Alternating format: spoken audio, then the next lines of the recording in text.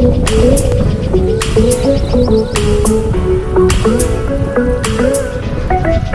guys, I just want to show you this latest project I've been working on. It's a Bafang 750 watt mid-drive motor on this hybrid bicycle. I'm going to do a quick overview. I'm going to do a test ride, going to program, check the settings on the motor, then do some some adjustments and then ride it again. This is the mid-drive motor. This is a Lunacycle one, it's a 750 watt.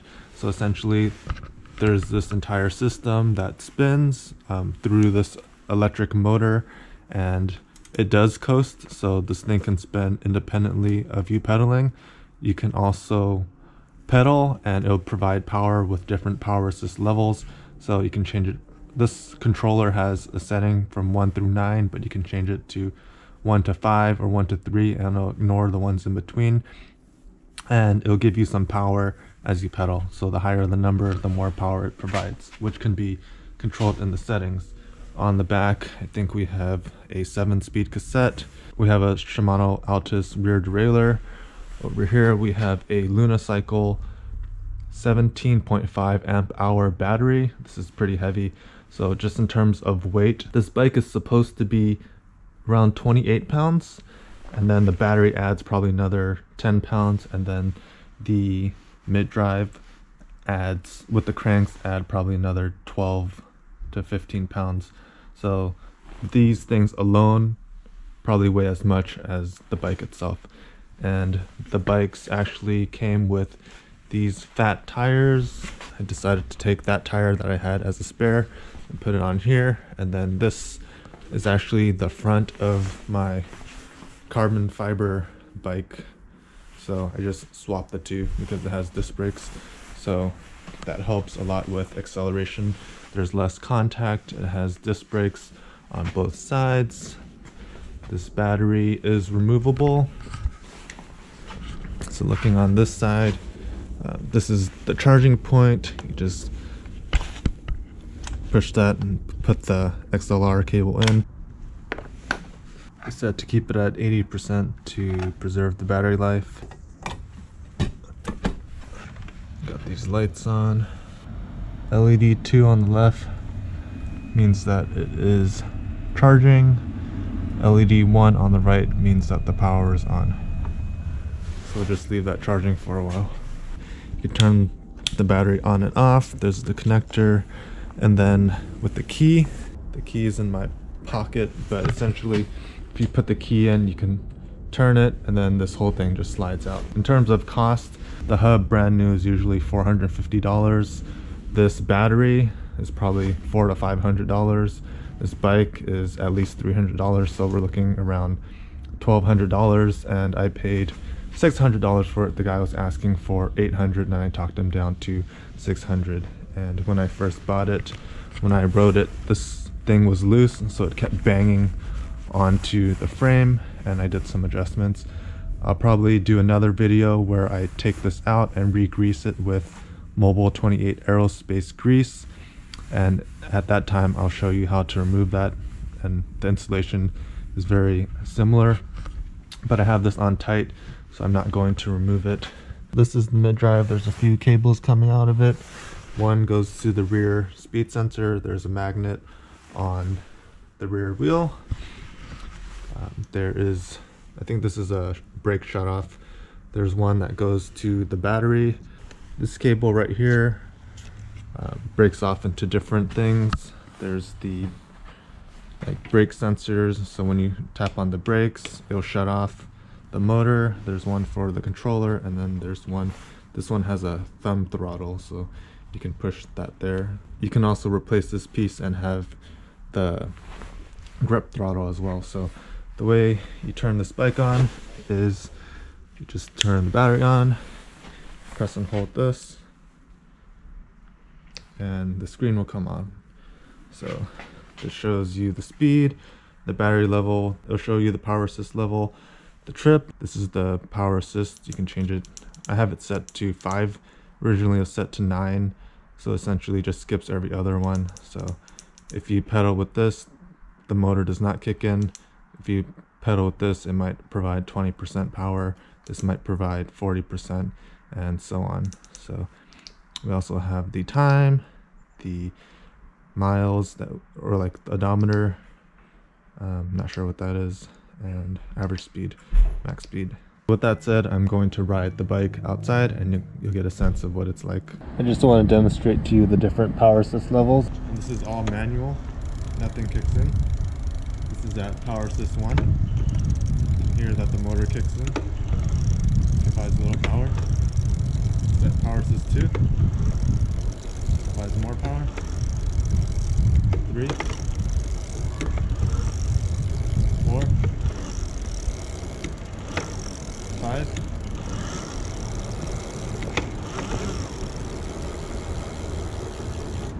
And this is solely the throttle.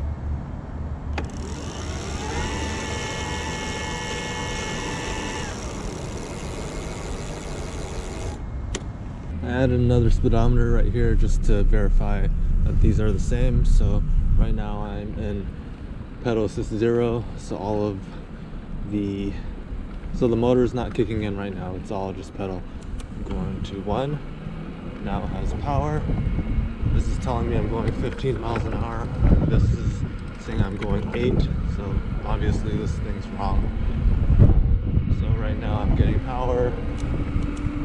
Pedal assist two, there's more power. Pedal assist three,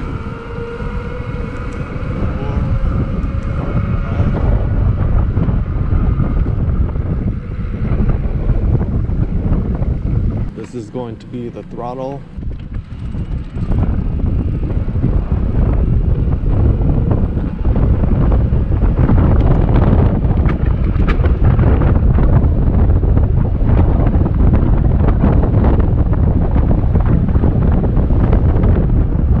I have the USB cable connected to this green plug right here and that ties into the controller and um, one thing I realized is that I need to have the battery on in order for it to communicate through power through the software.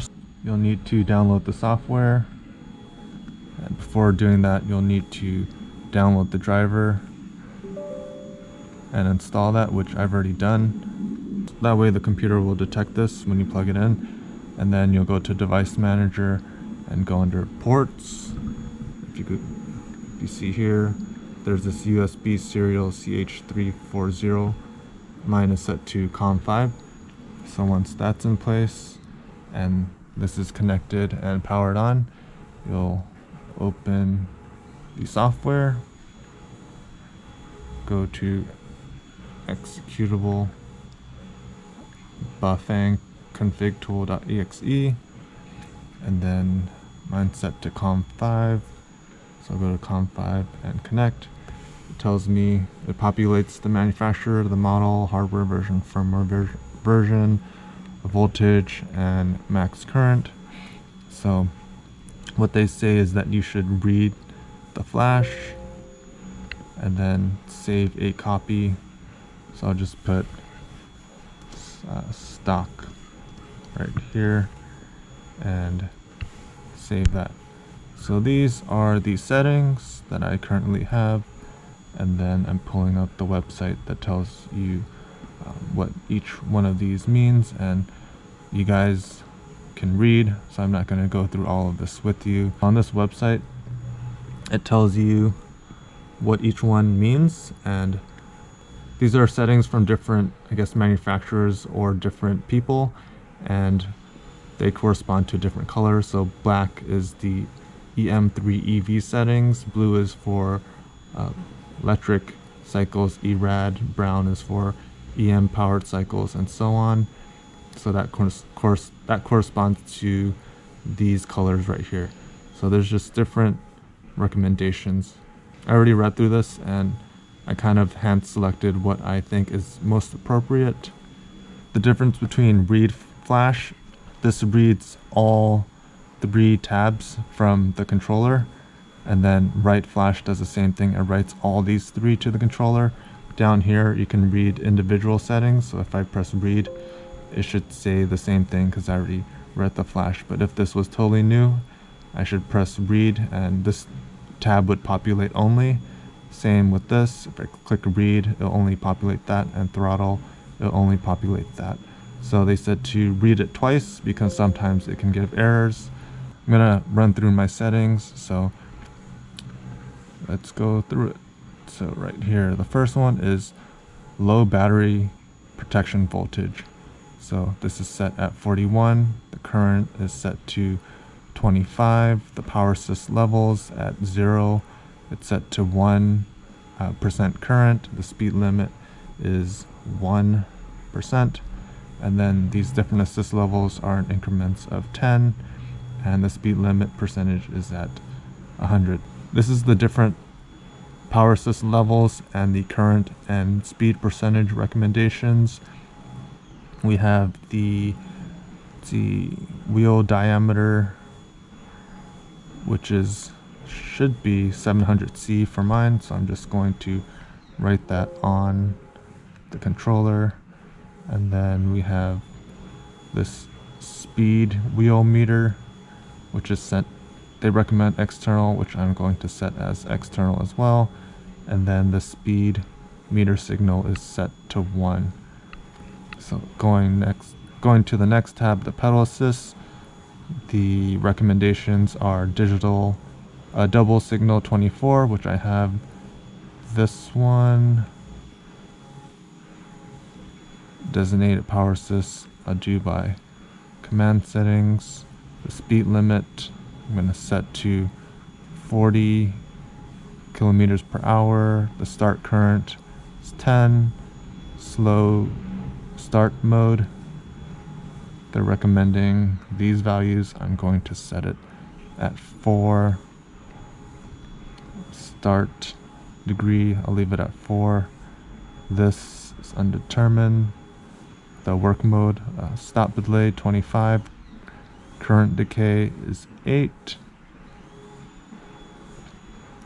The stop decay is 0. And then the keep current is set at 60. It's going to the throttle handle. The start voltage is recommended to be 11, which is 1.1 volts. then this is set to 42. This mode is set to speed. The designated assist level is set to 9. My controller supports 9, but I changed it to 5 so I don't have to click as much. And what that does is it skips, I think it only keeps 1, 3, 5, 7, and 9 from this value. And then speed limit, set it to 40 start current 10 so I'll write that on. So just make sure all of this is written. And then I'll just just for safety I'll write flash again. And then I'll read flash to make sure everything's saved just gonna save this onto my documents. This is just the modified one. I wasn't, I couldn't find the stock folder, so I just saved this here for now. And that would be it. The great thing about mid drives is that I can utilize the rear cassette. So I can go into a higher gear if I'm climbing up the hill, and then I can go into a lower gear when I'm on a flat to go faster. One of the drawbacks is since there's a one, fixed cog in the front and the rear cassette kind of varies. Sometimes the chain would come off because there's just so much distance it needs to cover and doesn't really stay on. So I'm just gonna ride around the block, show you guys what it's like. One thing I noticed is that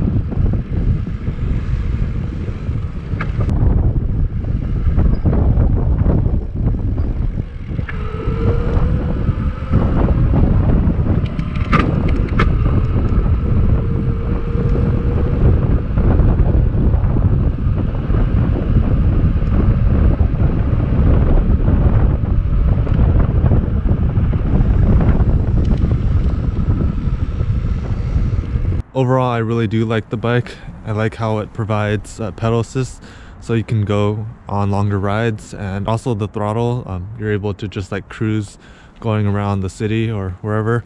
I haven't really tried commuting with it, so I don't know the range. One thing I dislike about this is that the only connection is through this, the tightening of this hub. So if it, this is loose, this tends to wobble around. The speedometer or the speed sensor is kind of weird. It doesn't really read accurately. And then this battery is heavy and this is heavy. These two components weigh as much as the bike itself so that's one of the drawbacks as well it's pretty heavy another issue i had was that this screen would say 21h it would have a flashing check engine light i think that's due to the speed sensor i don't know if i need to get a replacement. It works sometimes not all the time um, but i'll figure that out. It seems to be working right now so i'll figure it out another time. It wasn't working earlier when i was filming. And sometimes the pedal doesn't seem to kick in either, but the, the throttle does. So other than that, and besides sometimes the throttle feels a little jerky or it doesn't receive power um, when I'm going up hills. Maybe it's just something I need to get used to. I, I enjoy it. I'm really satisfied with the price that I paid. I haven't really commuted with it too much and tested its distance, but overall, I really do like this motor that's it for now and please subscribe if you want to see more videos like this and thanks again for watching